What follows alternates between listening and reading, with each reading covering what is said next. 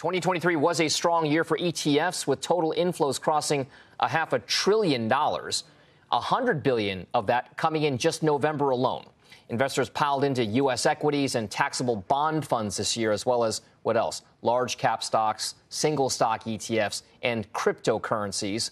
So here now to take us inside the numbers is VettaFi head of research Todd Rosenbluth. Todd, thank you very much for being here. Let's talk about the trends in the flow show of 2023. What really stuck out, stood out to you? Well, we started the year with a lot of investor interest in fixed income, short term fixed income, protecting against rising interest rates.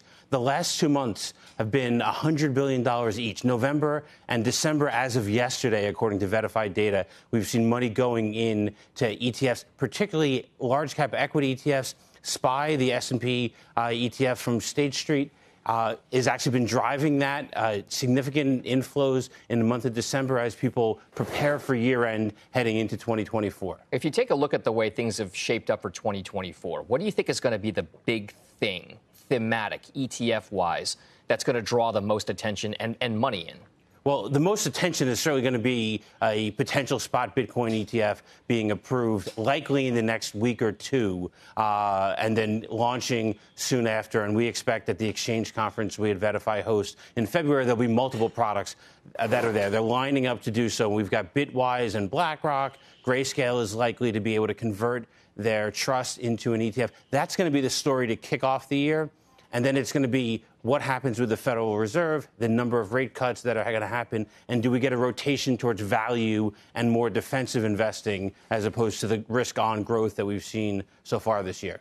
Do you think it's going to be more of a, an attention getter, bond funds and crypto funds versus stock ETFs, which is what many people just think about when they think about ETFs. Yeah, so stock ETFs are still going to be driving the lion's share of the inflows year after year. It's whether it's a risk on or risk off environment.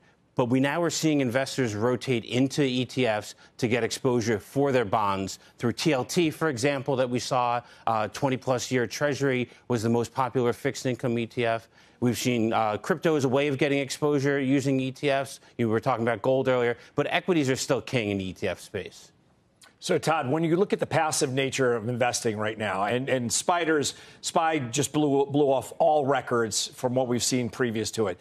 Does it make it so that people th- through passive investing are buying larger cap names, or do you think they have a shot at obviously there's ETFs for small cap names? Do you see them you know, jockeying for uh, position on, on the uh, attention of the consumer? Yeah, I mean, we've seen small cap rally in recent weeks and months uh, as rates have pulled back. Uh, the iShares Russell 2000 ETF, IWM, has certainly performed very well. We've seen other products that are doing well. I think if the market broadens out, as is likely to happen in 2024, we see more small cap, more equally weighted strategies gain attention. RSP, which is the, the equal weight S&P 500, pulled in uh, top 10 net inflows for the year despite significantly underperforming the broader market. So there's largely an ETF for most exposures that people want. And what about this idea? I mean, we mentioned single stock ETFs being a huge kind of like growth area. It's not an absolutely large part. But what part about the stock market do you think? What kinds of stories, what kinds of companies are going to be driving that ETF stock narrative in 2024? well, we saw in 23 it was Coinbase, it was Tesla, it was Nvidia, and there are leverage one and a half times leverage ETFs that exist for people who want the ease of use instead of buying options directly. Uh, we're also seeing options use in other strategies uh, through covered calls. Um, JP Morgan's JEPI, JEPI, uh, has been extremely popular. It has helped to drive actively managed ETFs. And so I think we're going to see more adoption of actively managed ETFs heading into 2024, whether it's a more single stock specific approach to it or it's going to be a broader market that's more defensive uh, as newer entrants have come into the market.